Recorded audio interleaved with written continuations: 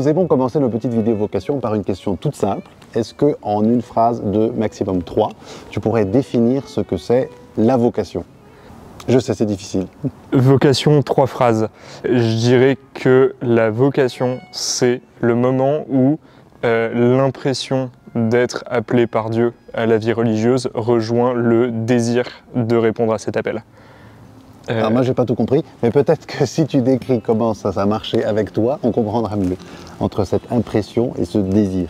Euh, ben, C'est-à-dire qu'il y a à la fois tout d'un coup, on se dit, mais peut-être que ça c'est pour moi, voire même cette chose m'appelle moi, et en même temps, il faut que le désir de répondre oui à cet appel grandisse en même temps, et qu'on se dit, mais oui, déjà, je pense que c'est peut-être pour moi, et en plus, je serai très heureux de le faire.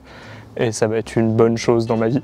Et euh, à mon avis, il faut quand même les deux éléments, parce que sinon, c'est un peu. euh, c'est soit euh, la contrainte absolue, zut, j'ai pas envie d'y aller, mais il faut y aller quand même. Ce qui peut faire partie de certaines phases, à mon avis, dans la réponse au, au truc, mais peut-être pas la principale. Et en même temps, juste, ah chouette, j'ai envie d'y aller, mais il n'y a rien. Du coup, très concrètement, dans ton petit vécu existentiel, ces deux phases, elles sont arrivées comment?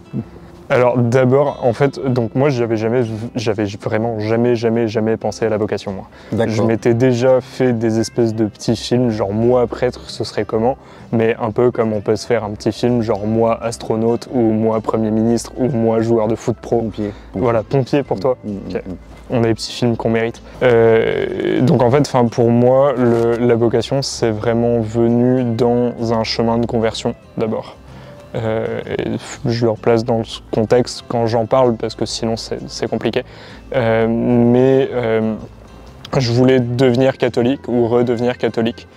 Et je suis un peu sur le tard, genre à 23, 24 ans, après une adolescence pas catho.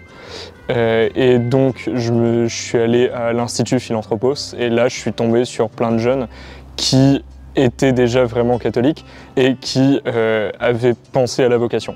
Et donc là, tout d'un coup, on se retrouve dans un contexte où il y a des gens qui disent oui, non, moi, prêtre, j'y ai pensé, c'est pas vraiment pour moi, ou ah, peut-être. Et on se dit, bah zut, tous ces gens, ils réfléchissaient à cette chose dans les cinq dernières années, et moi, j'étais ailleurs en train de faire d'autres trucs. Donc on se dit, bon, faut y réfléchir. On prend le dossier, on l'ouvre, on se dit, euh, bon, est-ce que moi, la vocation Puis paf, on referme parce que c'est pas pour nous. Euh, Ce qui s'est passé du coup. oui, Ah, et, et sauf qu'après, bah, ça continue un peu, et, l'idée se relance, et ça repart. Et euh, tout d'un coup, deux ans après, j'ai une pote qui rentre chez les cisterciennes. Donc là, le truc qui avait la, teneur ou le caractère concret de, euh, de ma carrière d'astronaute, tout d'un coup devient un truc réel, tangible, avec quelqu'un qui le fait vraiment. Euh, Cistercienne, hein, pas voilà. astronaute. cistercienne, Ouais. c'est ça. Donc j'ai bien pris ça dans la mouille, c'est bien comme ça. Et euh, la semaine d'après, j'ai tapé devenir prêtre sur internet. D'accord. Euh, je suis tombé sur une vidéo du diocèse de Paris. Euh, et j'ai appelé le numéro qui était dans le truc. Après, j'ai fait un an de discernement euh, pour savoir si je voulais devenir prêtre. Et après, euh, je suis allé au couvent de Bordeaux pour postuler. Top. Et du coup, qu'est-ce qui a fait pendant ton année de discernement que finalement ça a été plutôt la vie religieuse et pas devenir prêtre normal? Euh, voilà, je vais faire une, une énorme publicité négative pour la vocation sacerdotale. Non, Non, on c'est- fait pas. non, on fait pas. Non, mais euh, simplement, avec Euh, des mots qu'on peut dire. Oui, non, euh, je, je ne me sentais. euh, je- D'abord, je me suis toujours senti. Je, je me suis senti dès le début beaucoup plus attiré vers la vie religieuse que euh, donc avec dans, dans son aspect communautaire Mhm.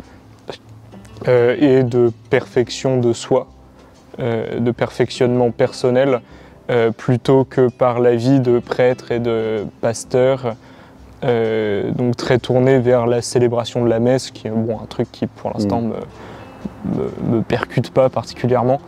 Euh, et, euh, et dans son caractère, euh, oui, pasteur des âmes, à s'occuper des gens, c'était pas d'abord mon- pas d'abord ça qui me parlait quoi.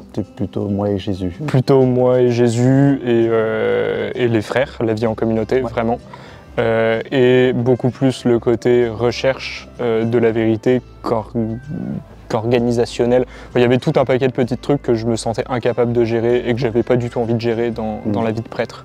Si je fais un mini résumé, pour toi, le déclencheur du début des questions, c'est voir d'autres gens qui eux-mêmes se posent des questions. C'est vous- oui, c'est voir d'autres gens qui eux-mêmes se posent des questions. Parce que quand on est dans un environnement où c'est juste même pas une possibilité, ne serait-ce que théorique, bah, la question on se la pose pas. Enfin, ça- Et une fois que la question se pose, si tu dois donner peut-être deux, trois conseils à quelqu'un qui, qui a des questions pour discerner bien, Ouais.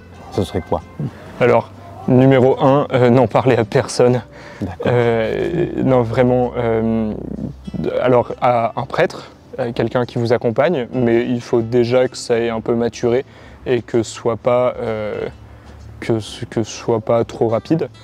Et surtout, n'en parlez pas à vos potes, n'en parlez pas à votre famille, n'en parlez pas autour de vous.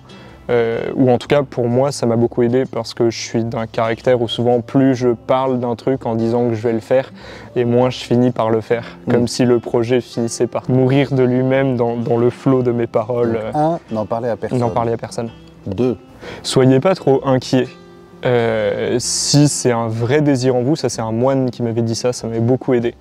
Euh, au moment où, au bout d'une semaine, je m'étais dit, ça y est, il faut absolument que je trouve un séminaire ou un monastère bénédictin pour que je rentre là maintenant. Et qui m'avait dit, euh, si c'est un vrai désir, il va survivre, vous inquiétez pas, prenez votre temps. Euh, donc prendre son temps. 3.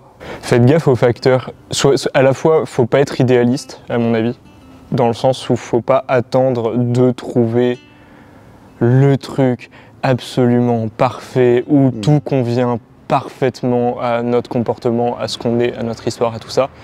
Euh, et garder les pieds sur terre pour faire attention aux facteurs humains. Euh, si vous à l'ambiance, euh, à est-ce que j'ai envie de vivre à tel endroit, et c'est là où, à mon avis, c'est important assez vite d'en parler au moins à un prêtre ou en tout cas à un maître des novices ou quelqu'un qui, qui- qui est formé pour ça. Euh, c'est que c'est la personne qui va permettre de rendre la chose objective et concrète. si tu dois juste mettre des mots, 1, 2, 3, 4, les éléments où tu te dis que tu es, content, enfin j'espère que tu es content, d'avoir choisi l'ordre de Winca. Numéro 1, la recherche de la vérité. D'être dans un endroit où on réfléchit, euh, où, euh, où les choses sont rationalisées. Numéro 2, la vie communautaire. Euh, donc pour apporter à la fois une, forme de, de stabilité, de, joie d'être ensemble, et en même temps, à mon avis, c'est par là que croît euh, la charité par l'expérience de la vie communautaire. Numéro 3, l'attention, alors même qu'on est quand même très apostolique, à euh, garder une vraie vie contemplative. Et justement ce caractère mixte entre la vie euh, contemplative et apostolique. Merci beaucoup frère Alfred. Je t'en prie, frère Antoine. C'était bien. hein? Oui. Tu vois, tu étais à l'aise finalement. Ouais. Formidable. Toi, toi aussi. Bon. Non.